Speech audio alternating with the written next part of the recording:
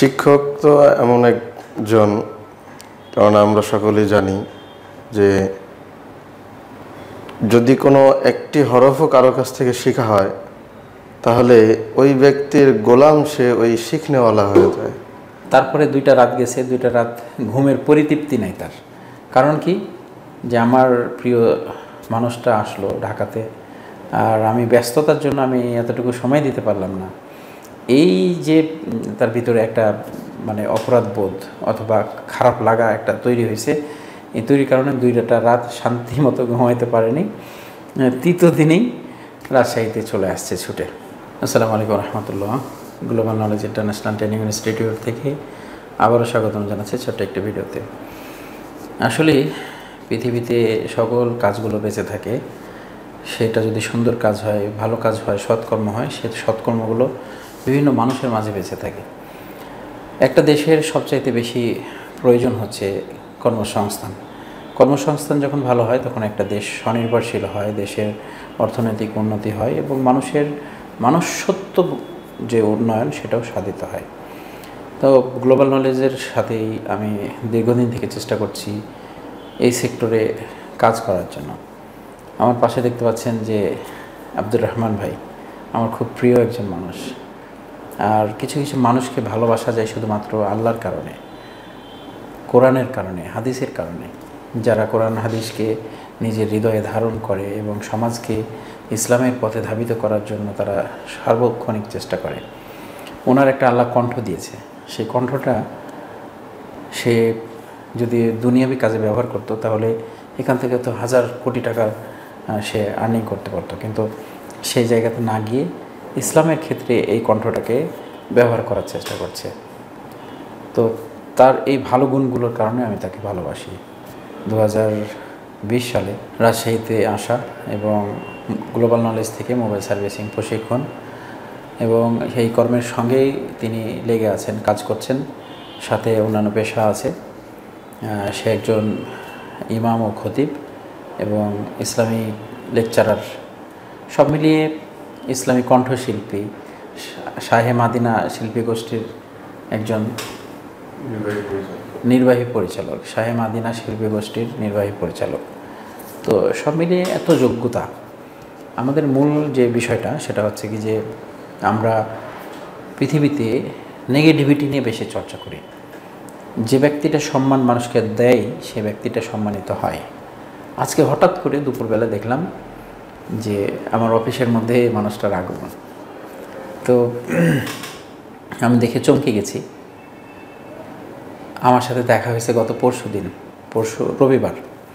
রবিবার দিন আমি ঢাকায় গিয়েছিলাম, হঠাৎ করে গুলিস্তানে গিয়ে রাস্তাতেই আমি মার্কেটে উঠব, তার আগ মুহূর্তে দেখা। দেখে আমিও সারপ্রাইজ সেও এবং দীর্ঘদিন সবসময় বলতো, স্যার ঢাকা আসলে আমাকে নক করবেন। অন্ততপক্ষে একবেলা বসে থেকে খাওয়ার সুযোগ যেন পাই সেটা। তিনার বিয়েতে আমাকে দাওয়াত করেছিল তো আমি যাওয়ার সুযোগ পাইনি। তো সব মিলিয়ে যখন দেখা হলো, তখন আমি একটা মিটিংয়ের জন্য তার কাছ থেকে সময় নিই যে আমার আধা ঘণ্টার মিটিং আছে, তারপরে আমরা একসঙ্গে মিট হতে পারব। তো হঠাৎ করে যখন একটা গেস্ট চলে আসে, তখন শিডিউল করে ওঠা সম্ভব হয় না। তো ওনার ক্ষেত্রে সেটা হয়েছে নামাজের পরে আমার সাথে দেখা করবে, কিন্তু তার যে নিজস্ব কাস্টমার ছিল, গ্রাহক ছিল, কিছু কাজ তার হাতে ছিল, এগুলো সমাপ্ত করতে করতে দিনটা পার হয়ে যায়। আমাদের আর একসঙ্গে হয়ে ওঠে না।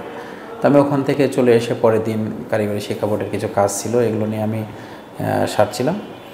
তো দুপুরবেলা আমাকে কল দিয়ে বলছে যে, স্যার, আমি, আপনি কি ঢাকায় আছেন না কোথায়? আমি জিজ্ঞেস করার পরে আমি বললাম যে, আমি আছি ঢাকায়, তবে অন্য একটা জায়গায়। এরপরে আমাকে কয়েকটা মেসেজ দিয়েছে। মেসেজগুলো আমি সেন্ড করতে পারিনি। তারপরে আমি রাজশাহীতে চলে আসছি। আব্দুর রহমান ভাই, তারপরে দুইটা রাত গেছে, দুইটা রাত ঘুমের পরিতৃপ্তি নাই তার। কারণ কি? যে আমার প্রিয় মানুষটা আসলো ঢাকাতে, আর আমি ব্যস্ততার জন্য আমি এতটুকু সময় দিতে পারলাম না। এই যে তার ভিতরে একটা মানে অপরাধ বোধ অথবা খারাপ লাগা একটা তৈরি হয়েছে এই তৈরির কারণে দুইটা রাত শান্তি মতো ঘুমাইতে পারেনি। তৃতীয় দিনেই রাজশাহীতে চলে আসছে ছুটে। তো এই প্রাপ্তিটা হচ্ছে একটা সারপ্রাইজ বলব না। এটা হচ্ছে মানে একটা বিশাল প্রাপ্তি যেটা সুক্রিয়া আদায় করে শেষ করা যাবে না। যে একজন মানুষ, তার সাথে আমার সম্পর্ক হয়েছিল একটা লেনদেনের মাধ্যমে। আমি কাজ শিখিয়ে দেবো, সে আমাকে কিছু অর্থ দিবে। তো সেখান থেকে একটা আন্তরিকতা গড়ে ওঠা।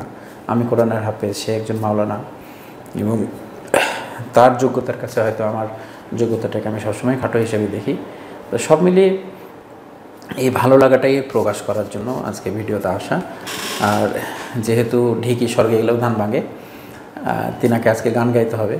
কারণ স্টুডিও না, তারপরে গান গাইতে হবে, কারণ সে একজন শিল্পী। আমরা তার কণ্ঠের জন্য আল্লাহর কাছে দোয়া করব। আর এই কণ্ঠকে যেন ইসলামের পথেই আল্লাহ কবুল করে। সব মিলিয়ে একজন শিক্ষকের প্রতি তার যে ভালোবাসা, এই ভালোবাসাটাকে যেন আল্লাহ কবুল করে। এবং শিক্ষক যেমনই হোক, সে ব্যক্তি সম্মান পাবে এবং যিনি শিক্ষককে সম্মান করবে, সেও শিক্ষক হিসেবে অন্যের কাছে সম্মানিত হবে।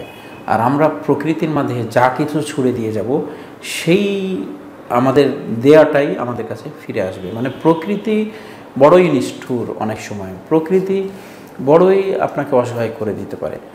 তো প্রকৃতির মাঝে আমরা যা কিছু ছেড়ে যাব, সকল কিছু কিন্তু ফিডব্যাক হিসেবে আমাদের কাছে আবার ফিরে আসবে। এটাই স্বাভাবিক। তিনি আমাকে যে সম্মান দিয়েছে, সম্মানের কারণে আমি কি করছি?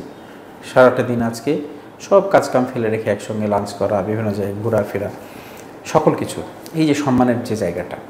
দেখুন, আমার জীবনে এরকম হয়েছে যে একই ব্যাচে দুইজন ছেলে, একদম ঘনিষ্ঠ বন্ধু আমার কাছে কাজ শিখলো তার মধ্যে একজন গিয়ে আমার বদনাম করে, আরেকজন সুনাম করে এবং সে কাজে পরিতৃপ্তি পায়, সফলতা পায় এবং তার সাথে আমার সম্পর্ক এখনও পর্যন্ত হেভি অটুট।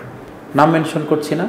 এরকম শত শত না, হাজার হাজার এক্সাম্পল আমার কাছে রয়েছে। তো এটাই হচ্ছে বাস্তব যে পৃথিবীর সবার কাছে আপনি ভালো কিছু পৌঁছাতে পারবেন না। সকাল, সবার কাছে আপনি ভালো হতে পারবেন না। আপনার ভালো যে কর্মগুলো সবার কাছে প্রমাণ করাও সম্ভব নয়। যাই হোক, এই মুহূর্তে আমরা গানের দিকে ফিরে যাই, আমরা গানটা শুনি। আব্দুর রহমান ভাই আমাদেরকে গান শোনাবে এবং তার মুখ থেকে আমরা কিছু কথা শুনব ইনশাআল্লাহ। আসসালামু আলাইকুম রহমতুল্লাহ বারাকাত শিক্ষক তো এমন একজন, কারণ আমরা সকলেই জানি যে যদি কোনো একটি হরফও কারও কাছ থেকে শেখা হয় তাহলে ওই ব্যক্তির গোলাম সে ওই শিখনেওয়ালা হয়ে যায়। আমাদেরকে তো আমাদের শিক্ষকগণ গোলাম বানান নাই। আমাদের থেকে কৃতদাসের মতো কোনো কাজও নেন নাই। কিন্তু আমরা চাই যেন আমাদের ওস্তাদরা সবসময় আমাদের জন্য দোয়া করেন এবং তাদের নেক দৃষ্টি যেন সবসময় আমাদের সাথেই থাকে। কারণ হচ্ছে মুরব্বীগণ ওস্তাদগণ, পিতামাতার দোয়া যদি কোনো বান্দার সাথে থাকে তাহলে তার সফলতার উচ্চ মাকামে পৌঁছতে আর কিছুই প্রয়োজন পড়ে না। আমরা এইরকম দুনিয়াতে বহু নজির দেখতে পাই যে ওস্তাদের দোয়ার বদলতে তার জিন্দিগি পরিবর্তন হয়ে গেছে। কোনো মুরব্বীর দোয়ার বদলতে তার জিন্দিগি পরিবর্তন হয়ে গেছে। আর পিতামাতার দোয়া সেটা তো বলার অপেক্ষায় রাখে না, সেটা আল্লাহ দরবারে অবশ্যই কবুল হবে। তো এই জন্য ওস্তাদ আমাকে বলেছেন ছোট্ট করে একটু শোনার জন্য। আমি ইনশাল্লাহ প্রয়াস চালাবো। ঝর্ণা জলে দৃষ্টি দিলে, সাগর তলে চোখ ফিরালে, মিলে তোমার পরিচয়। বৃষ্টি ফোটায় সৃষ্টি তোমার লীলা কথা কয়। বৃষ্টি ফোটায় সৃষ্টি তোমার লীলা কথা কয়। ঝর্ণা জলে দৃষ্টি দিলে সাগর তলে চোখ ফিরালে, মিলে তোমার পরিচয়। বৃষ্টি ফোটায় সৃষ্টি তোমার লীলা কথা কয়। বৃষ্টি ফোটায় সৃষ্টি তোমার লীলা কথা কয়। যখন রাতের বেলায় তারার মেলায় দৃষ্টি চলে যায় রোশনিতে তার হৃদয় পরাণ নয়ন জোড়ায়। রাতের বেলায় তারার মেলায় দৃষ্টি চলে যায়। রোশনিতে তার হৃদয় পরাণ নয়ন জোড়ায়। তখন সৃষ্টিকারীর ভালোবাসায় মনটা নরম হয়। সৃষ্টিকারীর ভালোবাসায় মনটা নরম হয়। ঝর্ণা জলে দৃষ্টি দিলে, সাগর তলে চোখ ফিরালে মিলে তোমার পরিচয়। বৃষ্টি ফোটায় সৃষ্টি তোমার লীলা কথা কয়। বৃষ্টি ফোটায় সৃষ্টি তোমার লীলা কথা মাশাআল্লাহ। আমার ভাষা জানা নেই। এর প্রশংসা কীভাবে করতে হয়? মানে কণ্ঠের মাঝে যে আল্লাহ কি দিয়েছে, এই কণ্ঠ না শুনলে বোঝা যাবে না। যাই হোক শেষ করব। ভিডিওটা অনেক বড় হলো। আর অনেকগুলো পারফিউম নিয়ে এসেছিল আমার জন্য, আব্দুর রহমান ভাই। সুগন্ধি আমার খুবই প্রিয়। ছাত্ররা জানে যে তার শিক্ষকের পছন্দগুলো কী কী। ওই ফ্লেভারগুলোই নিয়ে আসছে। সব মিলিয়ে সুক্রিয়া, উপহার, ছোট, বড়, সকল কিছুই কিন্তু মূল্যবান, মহামূল্যবান। এগুলোকে আমি সম্মান করি সব সময়ের জন্য। আব্দুর রহমান ভাইয়ের জন্য দোয়া করি। তিনি যেন পৃথিবীতে সম্মানিত হয়, অর্থনৈতিকভাবে স্বাবলম্বী হয় এবং আখেরাতেও সম্মানিত হয়।